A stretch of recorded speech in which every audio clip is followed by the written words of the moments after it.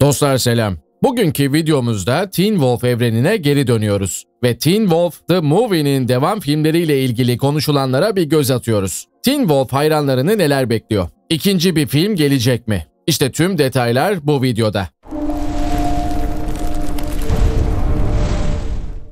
Bildiğiniz gibi Teen Wolf 2017'de 6 sezonun ardından sona ermişti. Ama hayranlar bu hikayenin tam anlamıyla bitmediğini hissetti. Ve 2023'te Teen Wolf The Movie geri döndü. Film, karakterlerin yetişkin hayatlarını, karşılaştıkları yeni tehditleri ve Alison Argent'ın gizemli geri dönüşünü anlatıyor. Scott McCall ve müttefiklerinin şimdiye kadarki en zorlu mücadelelerinden birini nasıl göğüslediklerini izledik. Ancak film birçok hayran için aslında dizinin gayri resmi 7. sezonu gibiydi. Bu yüzden büyük soru şu, devamı gelecek mi? Geçtiğimiz aylarda Tyler Posey ve Crystal Reed Screen Rant'e verdikleri röportajda Teen Wolf'un geleceği hakkında konuştu. Posey, filmdeki olayların final gibi hissettirmediğini ve daha fazlası için bir fırsat olduğunu söyledi. Yetişkin Scott'ı kaos dışında da görmek istediğini belirtti. Ona göre karakterlerin depresyon, kaygı ve yetişkin olmanın ağırlığı gibi gerçek hayat sorunlarıyla nasıl başa çıktıklarını keşfetmek oldukça ilginç olurdu.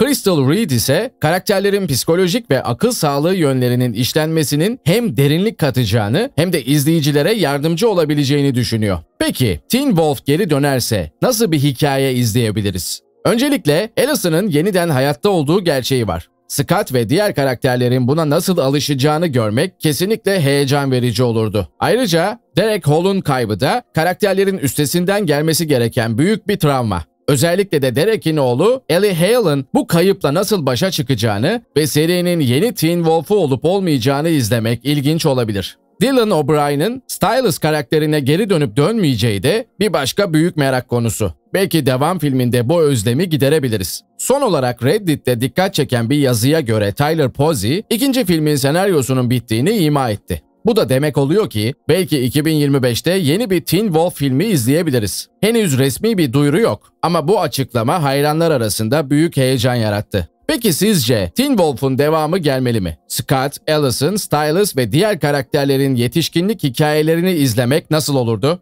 Yorumlarınızı bekliyoruz.